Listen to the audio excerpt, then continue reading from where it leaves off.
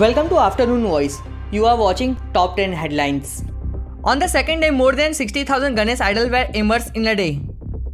Supreme Court grants interim bail to activist Teesta Setalvad. Earthquake of 4.9 magnitude hits Andaman and Nicobar Island. Twitter currently testing edit tweet button will be available for users soon.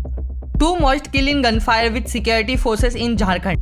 NDTV share prices rise 7 days straight. Current price is double than last month. Shiv leader Priyanka Chaturvedi calls for suspension MNS worker caught on camera assaulting woman. BJP people roam around with money back to poach MLAs, says Chhattisgarh CM. Woman die after treatment at IVF center run by fake doctor in Noida. Crime against women in Jammu and Kashmir go up by 15.62% in last year. Over 7,000 accused arrested.